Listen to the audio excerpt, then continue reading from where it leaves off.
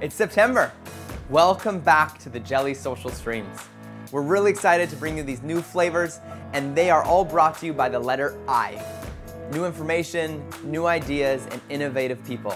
They'll be filling our streams on our Instagram, LinkedIn, and other places, and we're excited to be bringing you these new flavors and thoughts and ideas. So thank you for giving us the summer to take a bit of a rest, a break, a little hiatus, but we're back and better and stronger than ever.